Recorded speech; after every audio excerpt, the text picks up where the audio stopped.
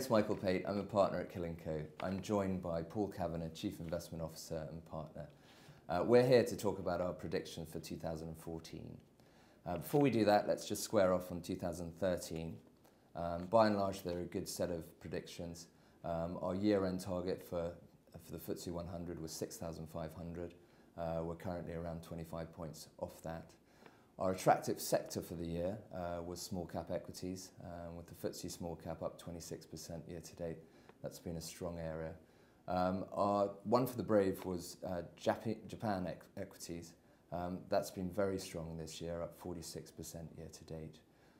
Um, we also uh, were predicting the next bubble would be Japanese government bonds. They've actually been quite resilient, um, uh, so, so that didn't pop as expected.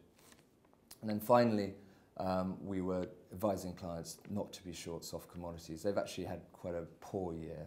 Um, all commodities um, have performed relatively poorly uh, against equity markets. Um, and some of that weakness has leaked into our 10 for 2013 uh, with Provident Resources uh, before underperforming the market as well as Glencore. Um, to the positive, there's plenty, plenty to be positive in the, in the top 10. Uh, Boeing was up 75% on the year. Uh, Nike was up 48% and Vodafone was up 48%.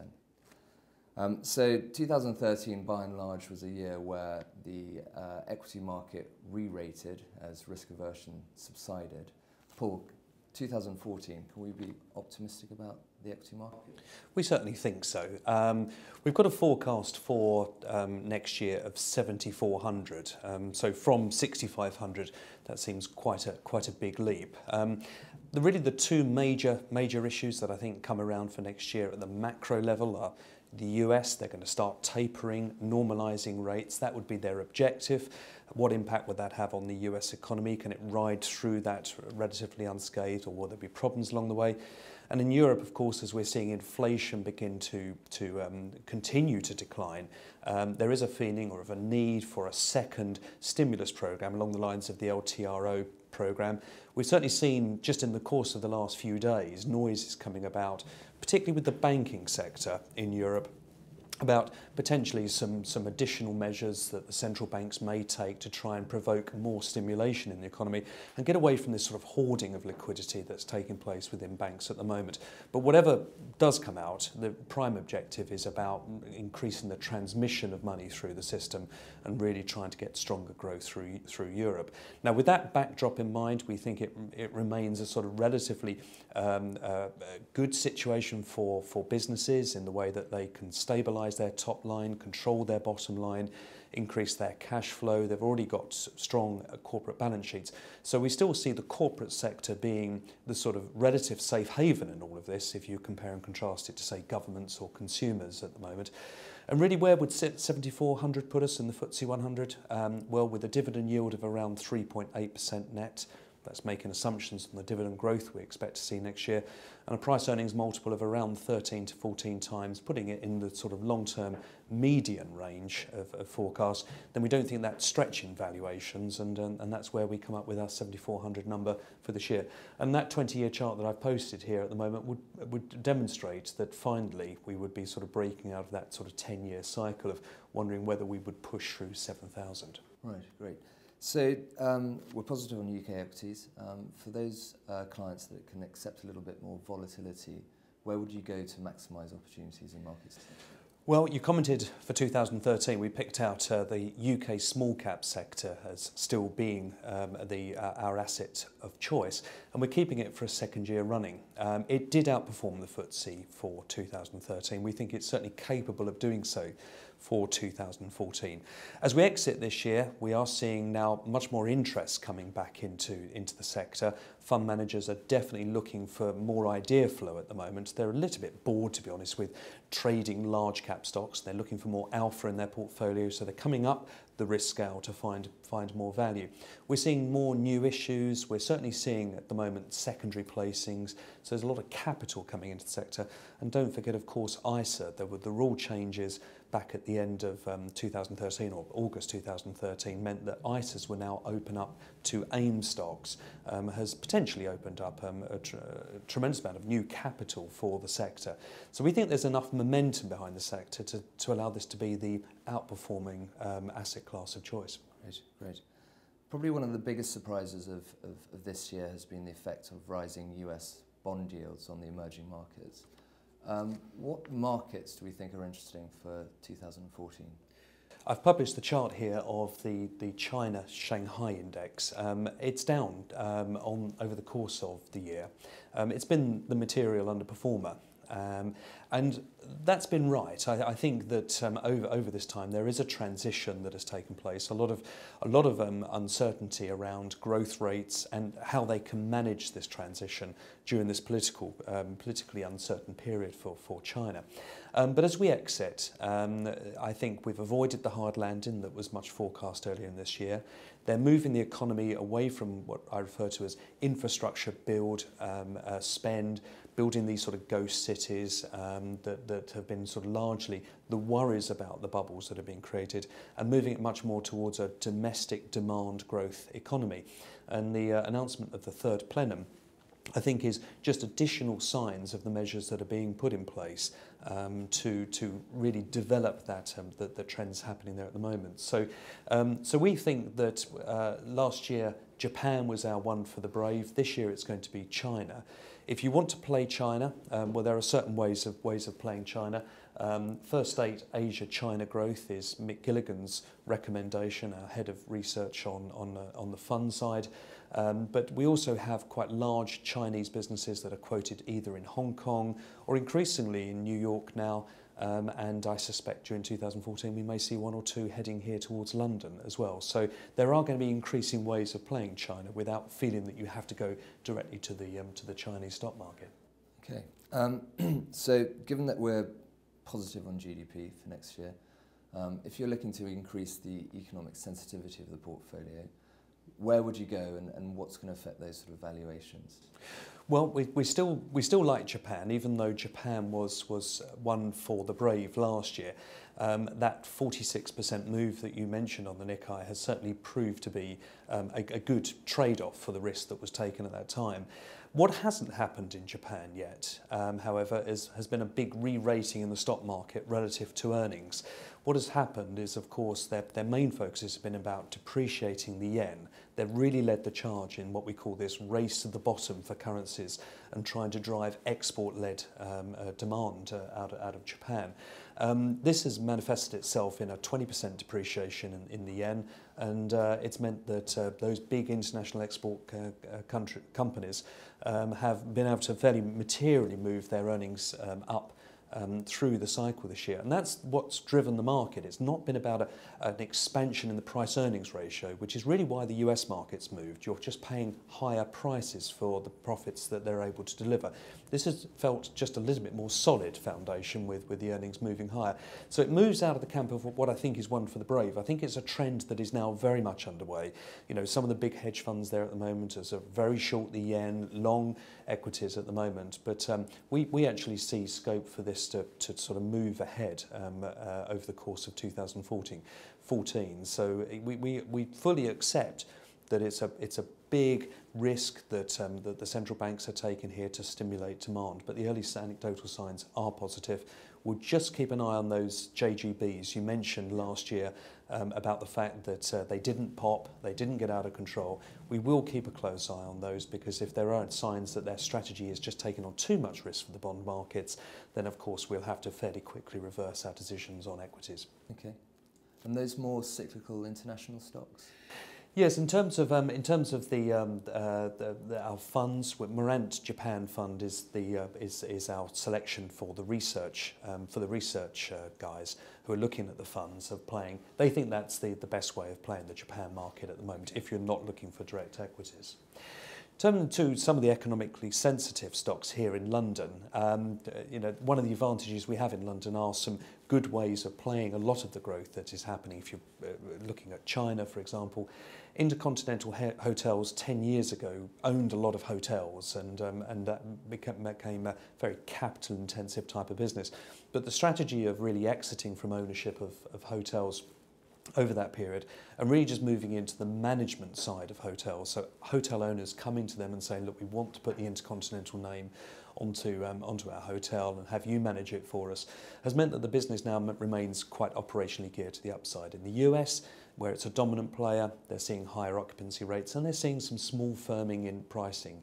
Um, London has proved to be uh, a strong market during the course of 2013. In the regions, it's been slower, and uh, as has been the case in Europe. But the real driver here is that China remains sort of fairly fairly uh, underinvested in hotel capacity. There's certainly huge amounts of travel that's taking place as that economy continues to build air at the moment. And Intercontinental Hotels is a, is a sort of great play on that, um, on that exposure. So we certainly put that into, um, into that uh, list. Um, likewise, in the car industry, again, another industry that 10 years ago you would not think about buying for cyclical upturns or, or uh, stru uh, almost structural upturns. Um, but Volkswagen has made a big pitch into the emerging economies and also into um, China. Um, this is, a, this is a, a, company that has a number of brands right across the spectrum of the car market and sells into 153 countries around the world.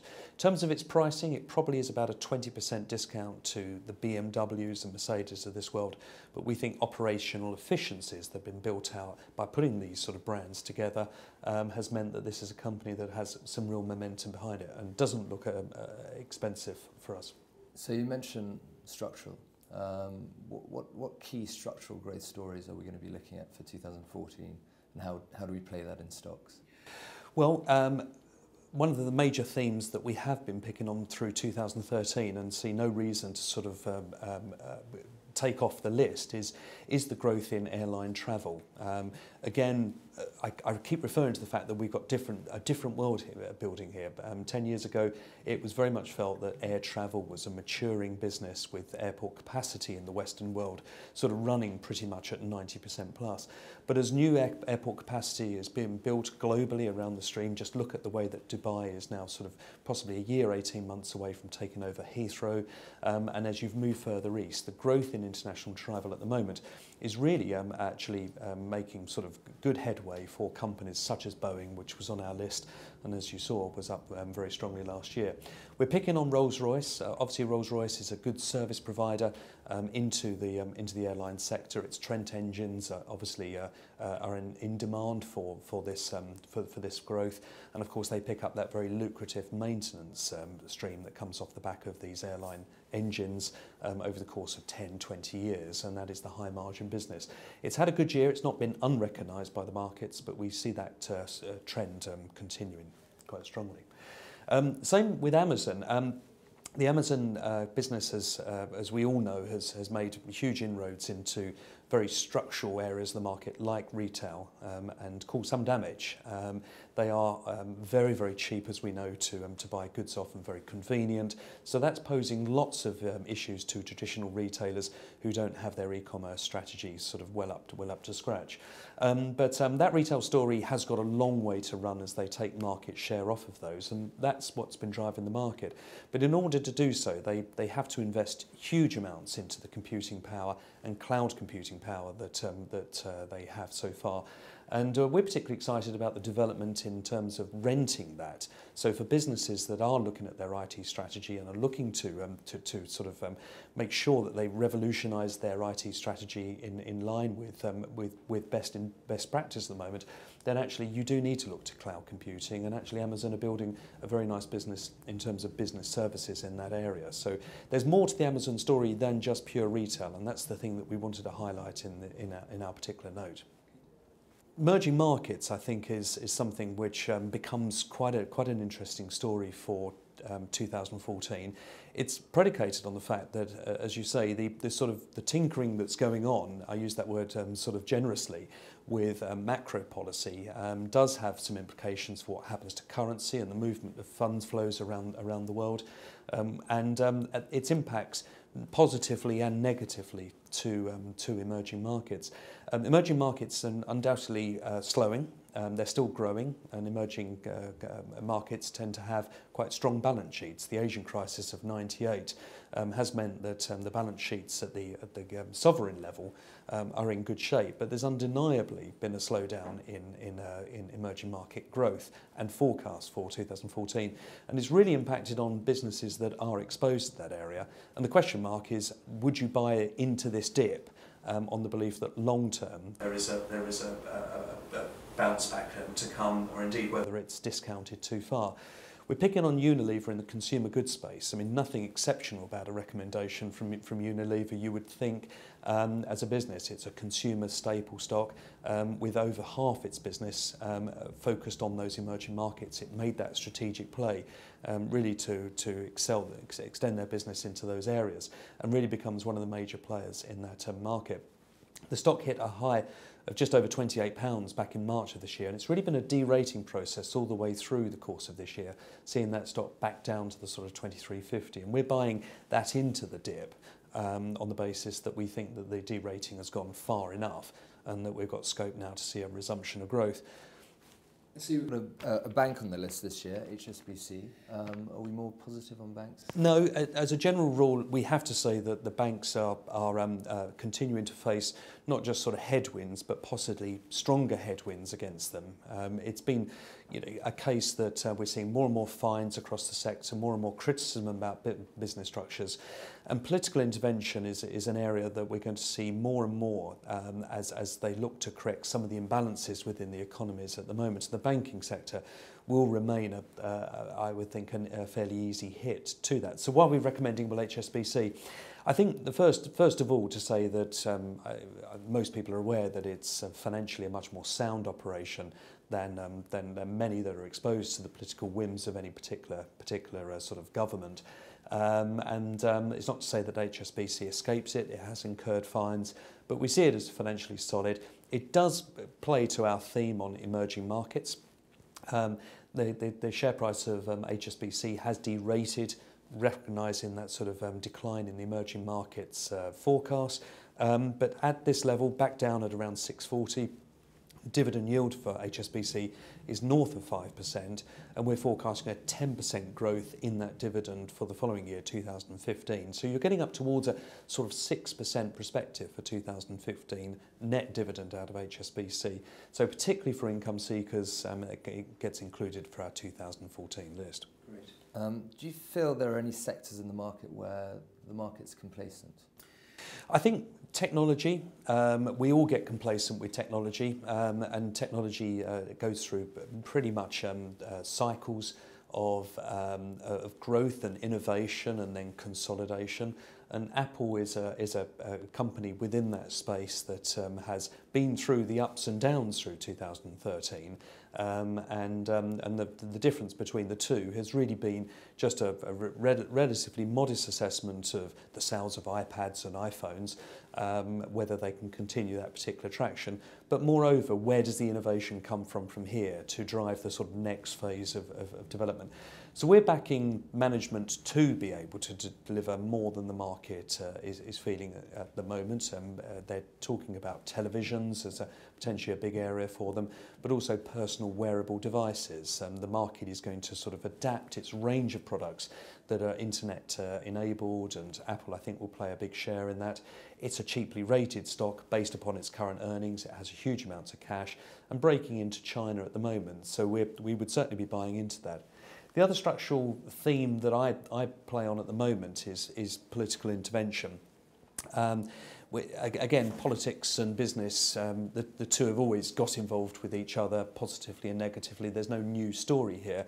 It's just really where is the impact coming from? Um, there's, uh, we've got so many imbalances within the economy that have been created out of um, the financial crisis. And really, in order to address that and to stabilize and really to, to uh, of trying to avoid the worst case scenarios,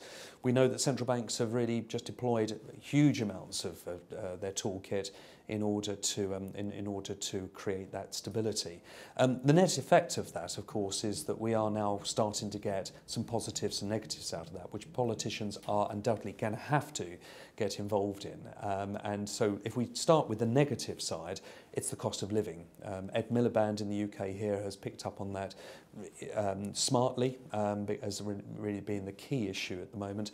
That sort of move down in interest rates in the UK um, largely absorbed cost of living increase, I think, for the first four or five years. But the net result is that we do have to have um, uh, sort of concerns over what impact that's having on, on, the, on, on consumers at the moment. Utilities are um, the one area that ever since that speech have come off quite sharply. We've seen a 20% decline in the price of Centrica, Scottish and Southern. And I think that over the course of the next 18 months, we're going to see um, that, that, that negativity of political Im implication really impacting hard on that sector. So I think we're being complacent in thinking that the sector is just going to sort of ride through this unscathed. But positively, the house builders, they're going to have to keep, keep the pressure on house building um, in a positive fashion. We're still building too few homes, we're still getting too many pressures in the system, which are increasing the cost of rent for people, and therefore we need to get more product out there. And, and Barclay Homes is our recommendation of choice there. so with funding improving and investor confidence improving, um, what small caps will we be recommending? Um, we've put Quindel on the list. Um, this is not a, a company that's uh, been without its sort of um, uh, market issues. As you can see here in May, they had a bit of a wobble that was really sentiment around the stock. Um, but um, things have improved markedly in the second half of this year. And I will say in the last sort of two months, the company successfully raised 200 million pounds of new capital to support its growth. The company is a service provider to the insurance industry. And as you can see, there are pains to be felt um, in the big cap insurance sector at the moment. Just note what happened with Royal Sun Alliance um, in terms of the cyclicality of their top line and the overheads that they have, um, which um, drives the bottom line. And if they can start to move more and more of the services away to a contracted third party like Quindell, um, who are picking up a range of new blue chips um, recently, they clearly have something there that is better um, and more price effective for the insurance companies to consider at the moment. So we're, we're buying Quindel um, on the basis that they're very cheaply rated um, and that re-rating of earnings could, could, could well result in a fairly material move up this year. And finally, um, on the small caps, treble8.com. It is a gambling stock, gambling stocks, bingo, casinos. This is not necessarily one for everybody. Um, but uh, it's the opening up of the US market which is interesting us. Three states there that um, have now started to open up the concept of online gambling. This company is well positioned with all three of those and others that I suspect will start to roll through for 2014. Fantastic. Um, so to sum up, um, we're positive on equities over bonds. We'd allocate our portfolios across cyclical and structural stories, avoiding low growth businesses subject to government intervention. Geographically, while the core of portfolios are in developed markets, principally UK, US, uh, we would allocate to Japan specifically and increase our exposure to areas of China that are benefiting from structural reform. Um, finally, for those wanting to expand the risk budget within their portfolios, we would be increasing our allocation to, small cap equities. Um, should you wish to play some of these themes through funds, uh, where would we guide clients to? Well, I, th I think the, um, one of our top choices would be the Global Dividend Fund. And I think this, really just to summarise where we think 2014, the normalisation of interest rates, the question about whether we, we're going to move back to a more normal style economy um, is going to be fairly critical about how assets are priced off of each other. We still take the view that the economies are underperforming sufficiently, that further stimulus is going to be required, both in America, here, and also in, in Europe um, uh, so far. We don't come out of this cleanly, and as a result of that, there's still going to be pressure on, on back on the bond market in terms of keeping yields low whilst we try and sort of continue to engineer the recovery in a sustainable way. And the net result of that is that risk assets will continue to be attractively priced off of the back of that. And the Fidelity Global Dividend Fund is, is one such fund that we think buys the right stocks for this right market. Okay. So that's it from us. Uh, those are our 2014 predictions. Any questions, please call your broker. Thanks.